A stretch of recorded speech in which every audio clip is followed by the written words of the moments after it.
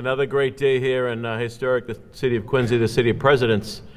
Talk a little bit more about the further transformation of our Quincy Center, which uh, many of you know, many of you in this room have been involved with, uh, continues with this next phase. So really delighted today to have two partners here with me to talk about the projects going forward.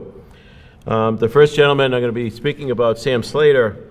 Uh, you may have read a little bit. I know the planning department's familiar with him. He's, uh, he's underway with uh, permitting process for a 16-story building in the North Quincy area down by the old Domino's Pizza, uh, Burt's Electric, that area, uh, in a neighborhood that's certainly crying for investment. And uh, Sam has stepped up on that project. Uh, he's a managing partner of the Tremont Asset Management uh, Family Holdings, Slater Family Holdings. He's a major developer in the Back Bay and Brookline and part of the region. Um, they have 3,500 multifamily residences across the region. He's a partner a board member of the Seattle Kraken NHL expansion team, the Climate Pledge Arena, will be the first net zero certified arena in the world. Sam's part of that project. He's also a uh, movie producer, not many know about that, part of Sam's background. And uh, he's certainly become a major investor here in the city of Quincy with the $100 million building I just described in North Quincy. Joey Arcari, uh, some of you may know Joey. Um, when I first met Joey, I was expecting a uh, Italian gentleman, but uh, I met a guy with a brogue. Uh, so never, you never know. Uh, but uh, Joey's the president of the Broadway Hospitality Group. Really best known, really being so successful with the Tavern in the Square Hospitality Restaurant Group. They have 15 total restaurants. he's also into the real estate world with developments in South Boston and the North Shore. Uh, and uh, Joey has uh, found an interest in the city of Quincy, and we're delighted to have him with us. Uh, today, we're talking about three major projects as part of this. Um, it's really this west side of the, of the Hancock Street. We've seen a lot of activity on the east side with the west of Chestnut, with Chestnut Place, uh, with 1500 Hancock, and of course the Kilroy Square and the Kilroy Garage. Uh, the Galvin, Sean Galvin's here, made the first foray in the west of of Hancock Street with the construction and the building, uh, the condominiums which sold quickly, and, and I think you got a good good number on them, as I'm told, Sean. So we're glad about that. And as you know, we're building the, as we speak, we're building the new bridge and parks that can be dedicated to the generals uh, this September. So it's time for that side of Hancock Street uh, over to Burgin uh, to be developed. It's time to transform uh, that area. And that's what we're here to talk about today. So we're looking at uh, three buildings, about $300 million in investment, and that's private investment. Uh, about 800,000 square feet of total retail, entertainment, and housing. And this is going to create almost a thousand construction jobs, and we'll have hundreds of permanent jobs over time. So specifically, the project's um, 1469, 1445 Hancock Street. Uh, Mr. Slater is proposing a 15-story, 200-unit residential building, 8,000 square feet of restaurant, and uh, retail, um, 4,000 restaurant, 4,000 retail. Uh, it's what we know today as the arcade building. It's the long building across from Malibu with the big windows on the second floor. Um, and Mr. Arcari is on the other side uh, of two buildings in between uh, the uh, Family Dollar Store, Tom Fabrizio, that's where he does his Christmas shopping. Um, so he, Sam is, uh, Joey has bought that building and he's pr proposing a seven-story building uh, with a two-story restaurant and housing units on top of that. So then between those two projects that both Sam and Joey are talking about, the city of Quincy is going to be moving forward with the city council to purchase the two buildings in between. The Taekwondo building and the donut, uh, donut to donut, whatever that uh, other building is to the left of that one. Those buildings will come down. That'll be beautiful new green space. As you know, as we continue to develop the Quincy Center area, it's private investment and public investment. And uh, they work hand in hand. And as we've seen, the great response from the Hancock Adams Common, the Kilroy Square, and the new pocket parks throughout the Quincy Center area, it has been well received.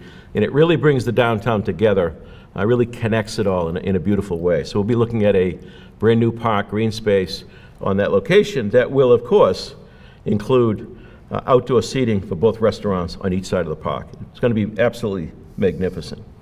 And then the third piece we're talking about today is the Messina lot, which is the empty corner at the corner Hancock and Hannon, currently uh, used as a parking lot um, for a number of years to make up for the interim parking. We've often talked about a major building on that corner, and uh, Sam will be talking a little bit about, more about that. That is another 14, 15-story building, 460,000 square feet on that corner. That building calls for something major, calls for a big building, there's no question about it. The exciting part of this is that uh, included in that building, and let me just say right up front, there's a lot of work to be done on this one. A lot of work to be done, both on the city side, the city's team, as well as Sam's team, and that is the construction of a performing arts center as part of that complex. As we've talked about uh, over the last year or two with Quincy 400, the, the public that we've been out meeting with and surveying, uh, the most common response we've gotten over the last couple of years is looking for a venue, a performing arts type center, a cultural center. Uh, and I'm pleased to say today that uh, we've joined uh, with Sam and uh, we believe we're going to be able to pull this off at that location. Again, a lot of work to be done. A lot of financial experts, real estate experts, and attorneys. Mahoney's smiling back there somewhere. Uh, going to be a lot of hours spent on this project, uh, no question about it. Very, very exciting times uh, for the city of Quincy. So, with that, I'd like to uh, I'd like to bring Sam up um, and uh, say a few words, talk a little bit more specifically about his projects. Then we'll hear from Joey, and then of course we'll take any questions at the end. Sam Slater, new investor to our city of Quincy.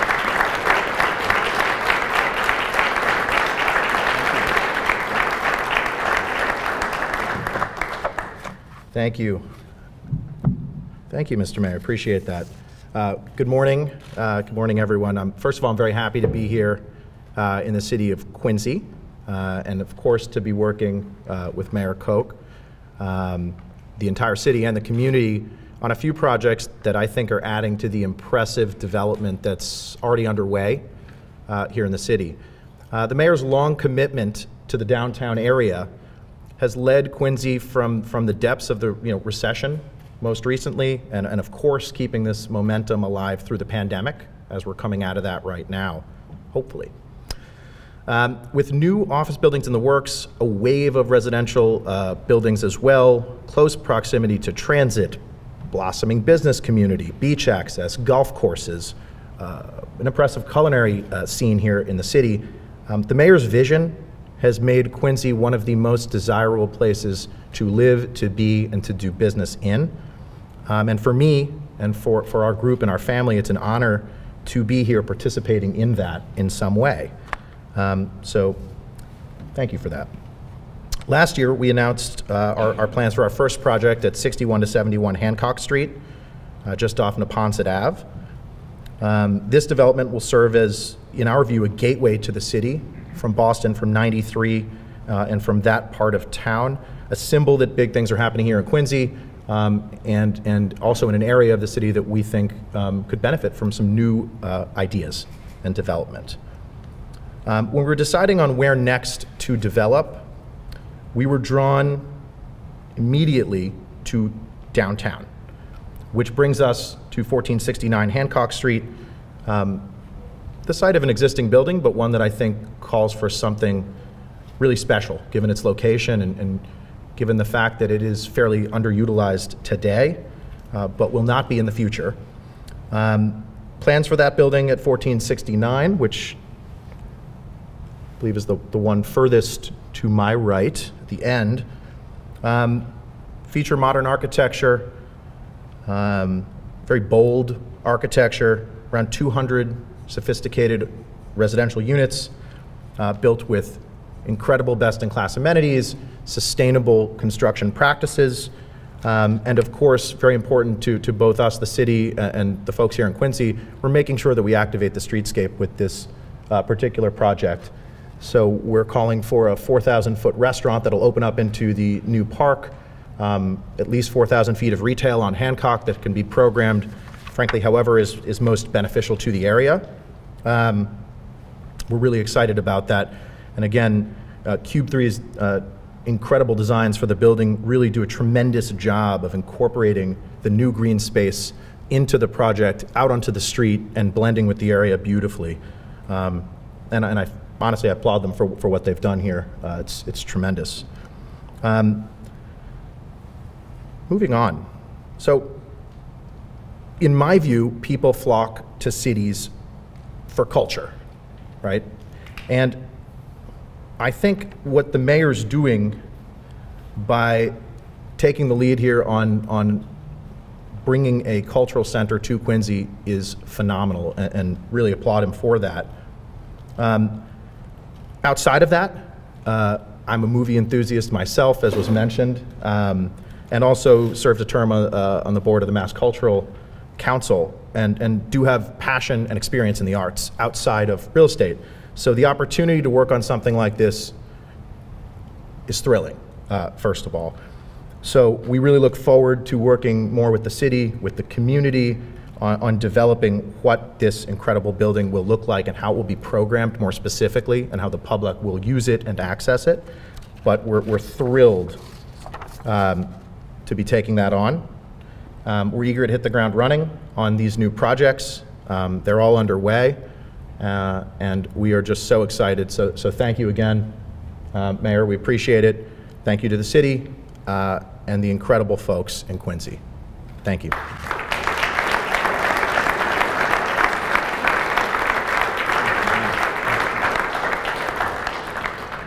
Next, I'd uh, invite Joey Arcari now to share a little bit about uh, his, his story. Uh, He's made his footprint really in South Boston. Uh, Incredible restaurants that he's put together, and he's talking about a two-story restaurant here. Uh, Pretty remarkable. So Joey, welcome to Quincy.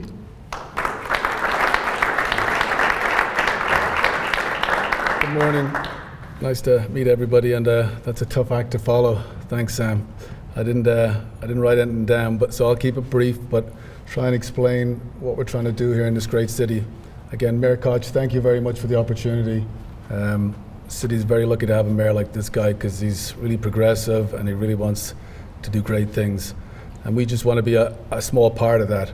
Um, you got great developers coming in here like Sam, Fox Rock, and you know, when, when I bought this property, this, this uh, development went from 15 stories up to 20 stories, back down to 15, and eventually ended at, at seven stories. And at the, at the same time, the most important thing for me, you know, I'm a restaurant guy first, um, and a developer sort of second. The most important thing was to create density downtown and to bring people downtown. And what better is a great restaurant? And so we want to do something special here. And besides just a first story restaurant, we wanted to make it really, you know, big and inviting. And, um, you know, you can sort of see the windows all, all open up and uh, really pours out into the new park. And again, as, as we sort of looked at this development and then the park idea came along, you know, the plans changed so that the restaurant sort of pours out into the park and then, you know, at Christmas time, maybe the park, you know, there's a Christmas tree here and it sort of becomes the center of town, you know, and so that's really important. Um, besides the, the first floor restaurant, first and second floor, on the second floor, we're also going to do a small co working space. And again, that's to sort of drive people, you know, young people downtown, small offices, things like that. Um, so, you know, on the second floor, we could have anywhere from 20 to 80 people working there, along with the employees, probably another 80. And then, you know, on a, on a busy Friday night with two to 300 customers, you're talking about four or 500 people being drawn downtown into Quincy.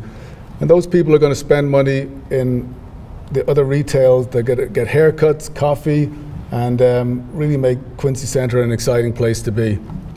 Um, so, first and second floor, and then above that we've got sort of 40 units of residential. Um, and I think that Sam and Fox Rock and all these big developers, they've really got the residential side covered. Um, but again, we wanted to do something really interesting, something beautiful, and um, and I think this is really going to this is really to create the center of town in Quincy, and um, really happy to be here. Um, I'm really excited to be working along with Mayor Koch and his team, and uh, obviously with Sam and all these other developers. Um, looking forward to being a, a small part of the success story of Quincy. So thank you very much.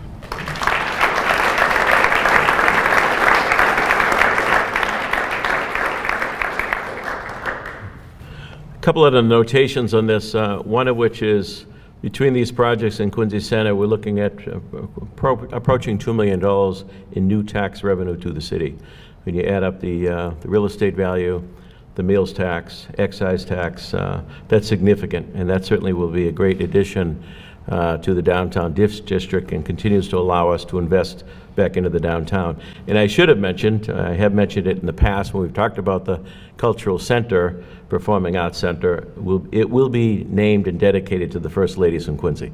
Uh, We'll be honoring Abigail Adams and Louisa Catherine Adams uh, with that. And uh, what Sam has shown in his drawings is the, the grand lobby opening up into that beautiful new green space as part of the park's construction of the, honoring the generals.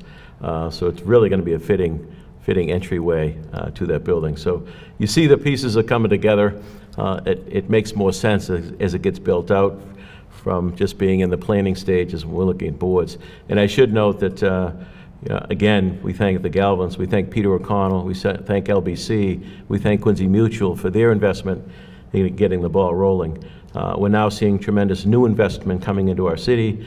Uh, We've seen Fox Rock now on the move at the hospital site. Uh, In the coming months, we'll be talking more about Fox Rock specifically on McConville Way. Uh, The, so west of, west side of Hancock Street, on that edge of the tracks in Burgin Parkway, Fox Rock, as we know, is going to be building a medical office building and a hotel and residential building and a garage as well. So uh, going to be pretty robust for the next couple of years in downtown Quincy, but so exciting. I'm so grateful to Sam Slater and Joey Arcari for their confidence in the city uh, and for their interest and investing serious private dollars here in this great city. So with that, I'd be happy to open up to questions of any of us. Uh, Gents, want to come back up and Anybody has any questions? Scott, Is there going to be an affordable housing component to these projects? Is there going to be an affordable housing component to this project? We're actually building two projects in the downtown now that's going to be dealing with affordable workforce housing. Those are the things that will be discussed as we go forward. Joe? Who would own and operate the Performing Arts Center? Joe's asked, who will own and operate the Performing Arts Center? And that is one good question, Joe. We're still grappling with. There's a lot of detail uh, to this project. It's obviously a city-owned lot, so there'll be a land disposition agreement we'll be going to the city council with. Uh, We got a long way to go, uh, but the teams that are together to begin that process, uh, with great minds uh, at the table, I'm sure we'll figure it all out. Anybody else? Um, Is there going to be, is the city going to build parking for these new buildings, or? Parking will be addressed uh, as, as designed, in meeting the guidelines of Quincy Center. It will meet the uh, necessary parking requirements. Some will be on-site, some will be off-site. We're going to continue to build out additional parking in the downtown for all of the uses in the downtown. Particularly when you talk about a performing arts cultural center, there's no way the developer is going to be able to build that kind of parking on site. So we'll be dealing with uh, that issue uh, as part of that McConville Way area. Mary? timeline for when these proposals will be submitted? Time, I'm sorry, Mary. A timeline for submitting the proposals? Timeline for submitting proposals. You guys want to take a crack at that? You go first, and I have timelines. Well, so the, the Family Dollar Store, actually, their lease runs out uh, December 2022. Uh, but during that time, we're going to be working with our attorney, Dave Mahoney, uh, going through the whole process of getting everything permitted and stuff like that. So we hope to, I would say we'd be putting a shovel in the ground probably fe- uh, February or March of 23. And probably a, it's, we've got about an 18 month project ahead of us. Thank you. For, uh, for, for these projects here, for the, the one furthest to my right, 1469 Hancock, um, proposals uh, and work on the project are, are actually underway now um, in, in its early stages.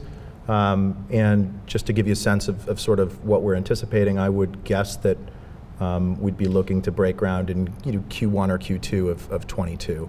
So it's a fairly uh, accelerated timeline given the size of that building, but um, it, work is underway there. Have the current tenants been notified in those buildings? Obviously, Family Dollar you just addressed, but, you know, the, the donut shop and the taekwondo. Yes, they have been notified.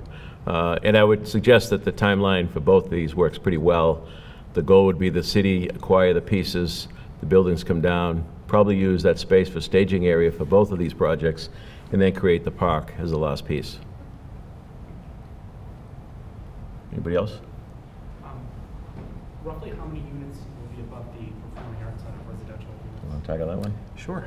Repeat the question. Yeah, I'll I'll repeat the question. Uh, The question was uh, approximately how many units will be above the Performing Arts Center? And and I'll I'll first say that we're early in in planning what the interior programming of the building will be.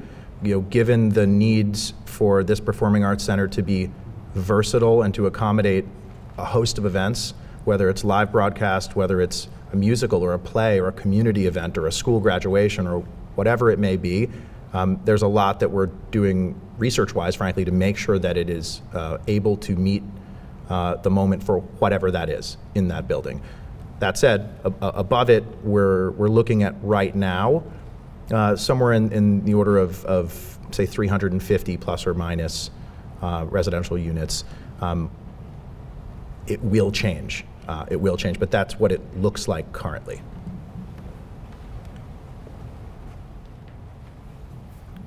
Uh, And by the way, to, to my housing critics out there, we're going to remind everybody that the metropolitan Boston area is way behind on the needed units going forward.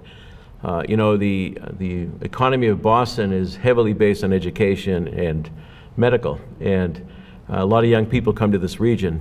They need a place to live, and that's a challenge right now. So we're helping to meet that demand, number one. Number two is, we've said from day one with the master planning of Quincy Center that we're creating a new neighborhood, that we're going to have a 24/7 neighborhood down here, not this old days of, of, uh, you know, 5 o'clock, the carpets rolled up, and the exception of Alba and a couple other restaurants, there wasn't much happening here. This creates new vitality, new vibrancy, creates new jobs, creates new taxes, and it's on the spine of the tracks. We're right by the Quincy Center Red Line Station, which is all about transportation-oriented development. So it checks a number of the boxes off why it makes perfect sense. This is where we want density. This is where we want height. This is the center of commerce for our city. This isn't in the, in the middle of a neighborhood, and I understand some of the concerns with development in different parts of the city. The city is extremely attractive right now, and that is an incredible compliment to our school system, to our police and fire, libraries, parks, DPW. It's an incredible city. People want to be here. So we're taking full advantage of that in the marketplace. Uh, So I wanted to say that because I know what's coming. Any other questions? It might be too early at this point, but are they going to be, the units going to be um, apartments or condos? Probably too early, Scott. The question was apartments or unit uh, condos, so we'll get into that a little bit later. Well, we ha- we have a little bit of work ahead of us. Joe, I'm sorry. Wondering what type of restaurants, uh, Mr. Perry? Uh, what type of restaurant? Um, basically, it's going to be a, a, an American tavern, uh, eclectic menu, sort of a, a restaurant for, for everybody. As the, you know, there'll be a lunch crowd, dinner crowd where families can, you know can enjoy it too. And as the as the night gets later, you know, probably a younger crowd settles in there. So, but it'll really be opening and inviting for for everybody. So, yeah. On your potential restaurant? Put you on the spot. I was asked to comment on our potential restaurant, and unfortunately, my skills do not translate into uh, the culinary space. So I would look to you, Joey, for some assistance in programming our restaurant space. I guess I'll just say, you know, again with Sam's restaurant, and I'm a true believer in, even though we're opening a big restaurant here, I want somebody to open a great restaurant across the way in Sam's building too. We need, it's not going to take, you know, one or two good restaurants, it's going to take five or six or seven. And that's already happening. Um, so I would probably, if Sam was going to rent it at a reasonable rate, maybe, I would probably think maybe a, a Mexican type restaurant anyway. Thank you. There we go. Can't have too many restaurants. Look at the North End, right? Well, I appreciate everybody coming today. I know a lot of my team is in the room. We got a lot of work to do, folks, uh, but it's an exciting time. I do want to acknowledge uh, Tim Cahill, uh, the president of the Quincy Chamber of Commerce, and I know we'll be working side by side with the chamber going forward as we do on a number of projects. So thank you, everybody, for being here. Enjoy the rest of this beautiful day. Thanks, Joey.